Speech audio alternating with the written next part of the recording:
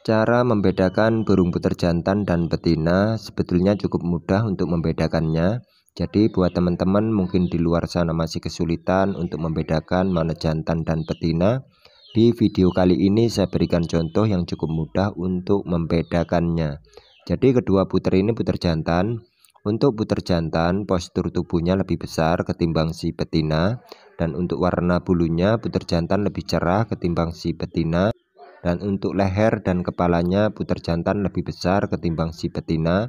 Dan untuk supit di bagian dubur itu puter jantan lebih sempit ketimbang si betina. Dan untuk gacoran keduanya sama-sama gacor tetapi untuk gacoran si jantan lebih besar dan biasanya durasinya lebih panjang ketimbang si betina. Intinya puter jantan durasinya lebih panjang dan bulunya lebih cerah, tebal dan postur tubuh leher kepalanya itu lebih besar. Kelihatan gagah ketimbang si puter betina dan anggungannya pun besar, durasinya juga panjang ketimbang si betina. Untuk puter betina seperti ini. Nah, ini puter betina. Warnanya agak gelap dan leher kepalanya lebih kecil. Biasanya kalau dicek di bagian dubur itu supitnya lebih besar ketimbang si jantan. Dan kalau gacor terkadang durasinya juga enggak panjang.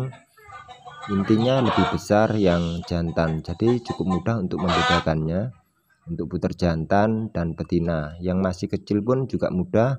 Yang lebih besar biasanya kalau yang masih kecil cindil itu yang besar biasanya yang jantan. Untuk suara si putar betina seperti ini contohnya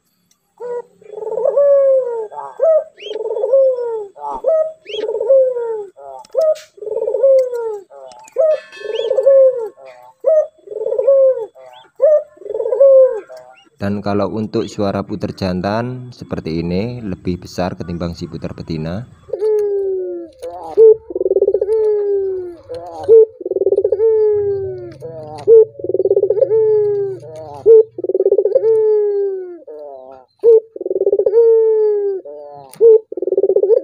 Oke sekian dulu dan semoga video ini bermanfaat dan terima kasih